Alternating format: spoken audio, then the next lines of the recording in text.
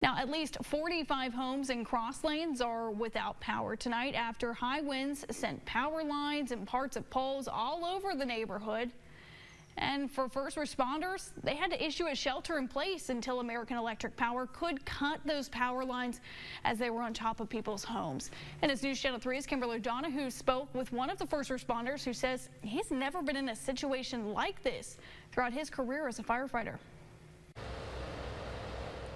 Snapped poles, fallen trees, and downed power lines, all remnants of the high winds in the Bradley Drive subdivision in Cross Lanes Saturday evening, forcing neighbors to shelter in place for over two hours. So when we arrived, we had uh, four telephone poles, power poles completely broken in half uh, bringing down all the power lines with them. Particularly, they were high tension power lines. All them lines had landed on every single residence along Bradley Drive. They landed on top of vehicles. They landed on top of the houses.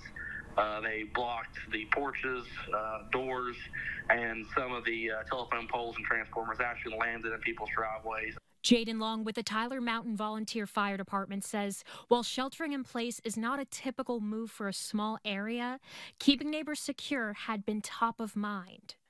That was the safest thing to do. We had the high tension power lines on top of the houses, blocking the doors, blocking the porches. It was safer for the residents to just stay inside rather than trying to get them to come outside um, due to them lines possibly still being energized. Long says if you are considering taking a look at how the wind gusts may have affected your home, leave power-related removal up to the professionals. Please report them and do not, you know, get close to any of the lines that are brought down.